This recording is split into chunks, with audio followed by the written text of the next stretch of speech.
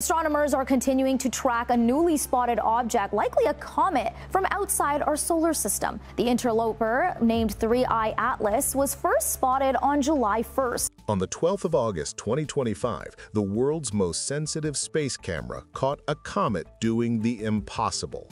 It fired a plume of dust straight toward the sun, exactly the direction gravity and sunlight say it can't go. NASA's own data calls it a sunward jet.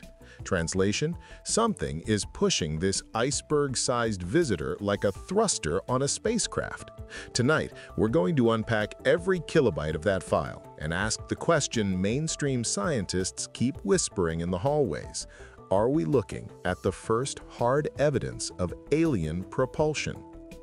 Back in June of this year, automated telescopes in the Atlas survey in Hawaii flagged a faint smudge of light, a smudge that simply wasn't on yesterday's star map.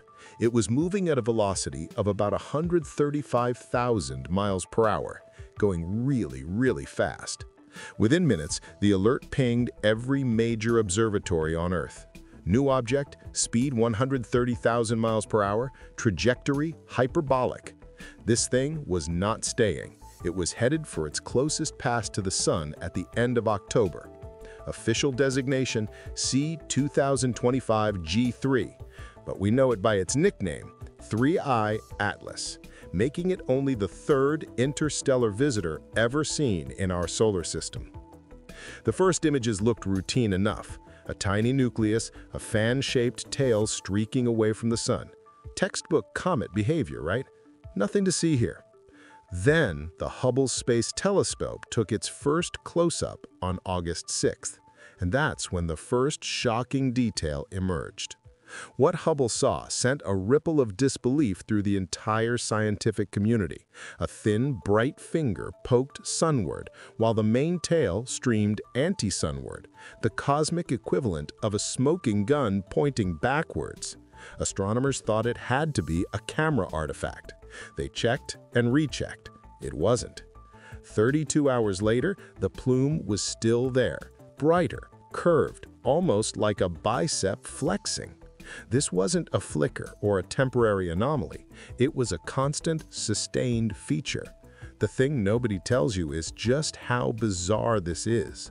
You see, comet tails aren't rocket exhaust. They're just debris caught in a one-way breeze of sunlight and charged particles. Dust gets shoved outward away from the sun. Gas ions get dragged along magnetic field lines, always downwind.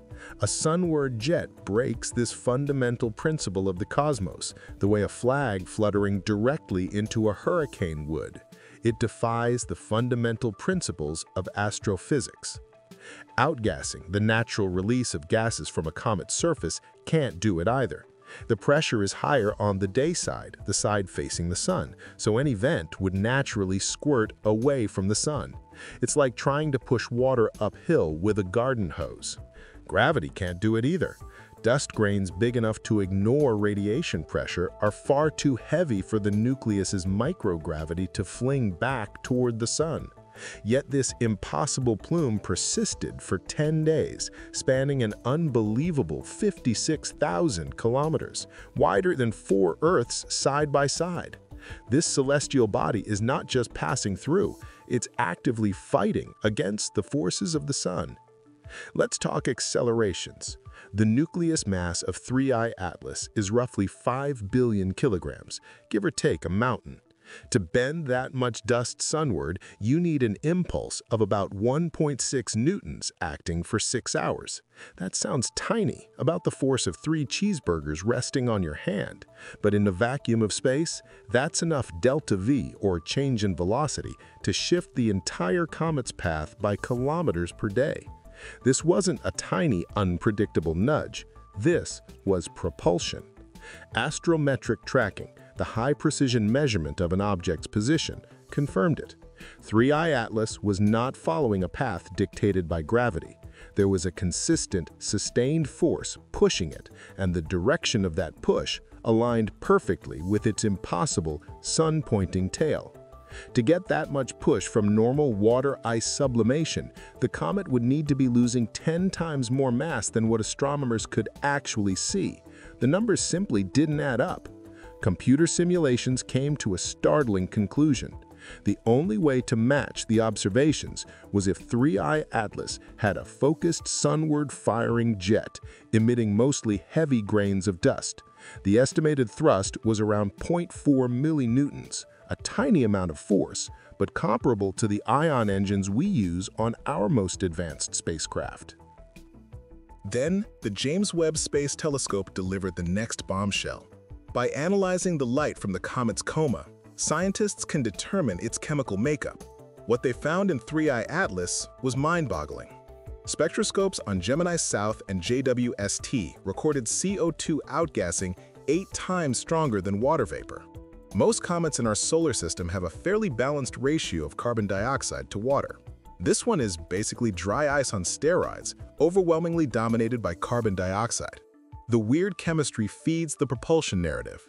High CO2 could hide a cold gas thruster signature, super chill jets cutting sideways across orbital mechanics.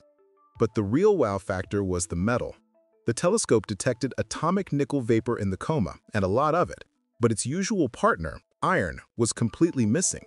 In our solar system, nickel and iron are cosmic brothers. They are almost always found together, forged in the same stellar furnaces. Finding one without the other is like finding a single footprint in the snow in the middle of the desert. It just shouldn't be there. This bizarre chemical signature, combined with its engine-like thrust, elevated 3I Atlas from a curiosity to a profound, unnerving enigma.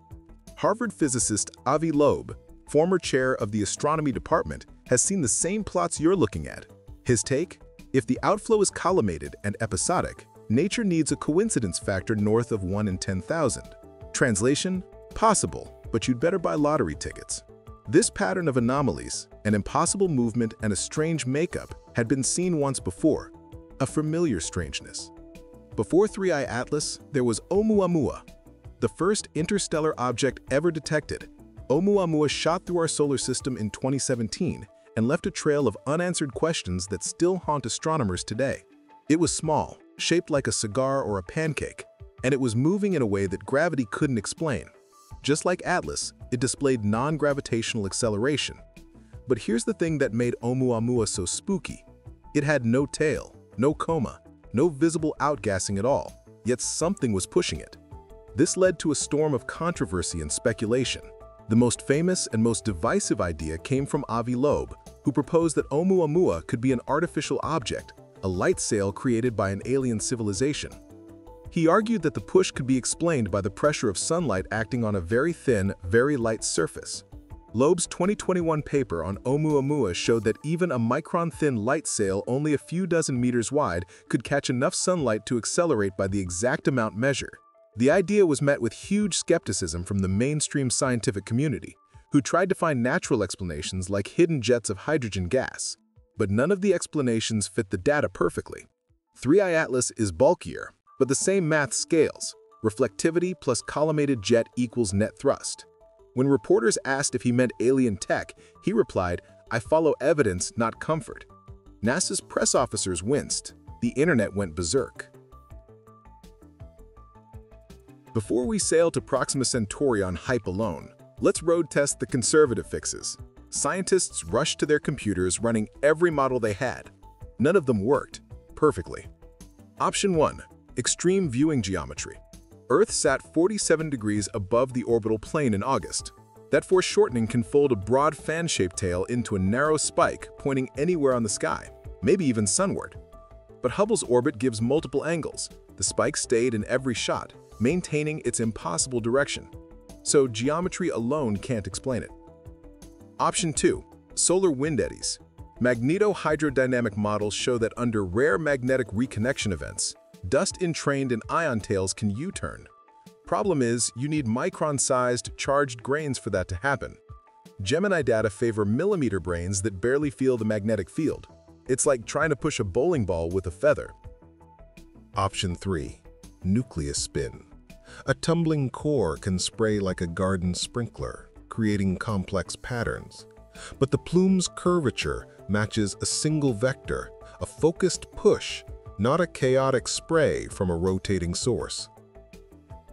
Each natural fix solves about 80% of the puzzle, leaving a stubborn fifth that won't budge.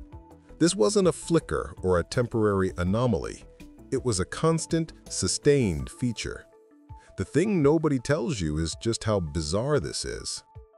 Microbiologists watching this unfold chuckled because they've seen comet tails before, not in space, but inside petri dishes. When the bacterium Listeria wants to cross a cell, it hijacks actin filaments. These filaments polymerize behind the bug, forming a dense tail that pushes it forward like a rocket.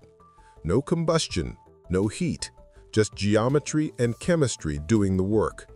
The similarity is linguistic, not physical, of course, but the visual is uncanny. A blob racing ahead with a tail streaming opposite the direction of motion. Nature converges on the same trick in wildly different arenas, enough to make you wonder what other blueprints she's hiding in plain sight.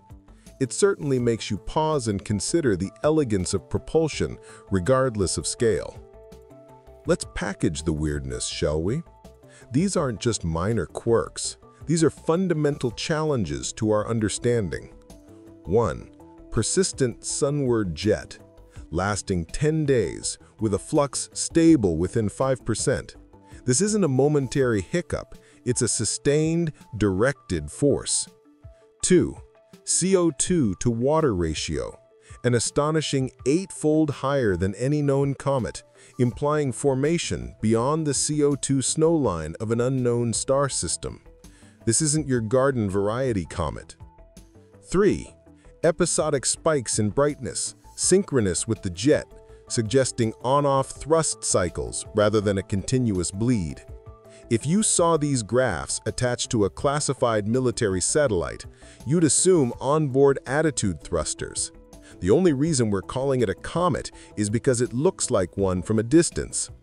The pattern of these anomalies, an impossible movement, and a strange makeup had been seen once before with Oumuamua. And having two such anomalies in just a few years is statistically mind-blowing. The universe is showing us something that breaks our models, and it has done it twice. It suggests that these objects may be far more common in our galaxy than we ever imagined. Buried on page 17 of a NASA Small Bodies Risk Assessment is a single line that keeps conspiracy printers warm. Anomalous acceleration noted. Delta V budget exceeds outgassing model 2.3 sigma. Translation, the thing changed speed more than the safest spreadsheet says it should. Two sigma events happen 5% of the time, rare but not impossible. Still, in aerospace, that margin would ground the space shuttle. That note was quietly removed in a revised PDF two days later. NASA claims typographical error. Reddit claims cover-up. Raw FITS files are still public, so for now, transparency wins.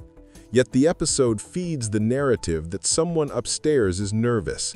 It certainly makes you wonder why a simple typo would require such a swift and quiet correction, especially for a celestial body that is already defying so many of our expectations. Suppose for a heartbeat, this is a von Neumann probe wrapped in comet camouflage. A reflective sail covered by a thin veneer of ice could masquerade as natural until close inspection. Periodic jets vent volatiles for course corrections, keeping the visitor in optimal scan range of the habitable zone. If that sounds like science fiction, remember every big telescope on Earth is funded under dual-use astronomy, astrophysics, and planetary defense, the same instruments that study asteroid hazards hunk for artifacts. The object's path was another puzzle. It was tilted just 5 degrees from Earth's own path around the Sun, an alignment so precise that the odds of it happening by chance are less than 1 in 500. As if that weren't enough, its trajectory was set to take it on close flybys of Mars, Venus, and Jupiter, a sequence of cosmic hellos with a probability of less than 1 in 20,000. This thing wasn't just passing through, it was taking the scenic route. From the moment it was spotted, 3I Atlas was screaming that it was something new, something that didn't fit into our neat little boxes of what an interstellar object should be. No signal has been picked up, but SETI dishes were not pointing that way in August. By the time they pivoted, 3I Atlas had crossed Jupiter's orbit outbound, too dim for radio triangulation. We may have missed the phone call. It's a chilling thought, isn't it, that the universe might have sent us a message or a visitor, and we were simply looking the other way.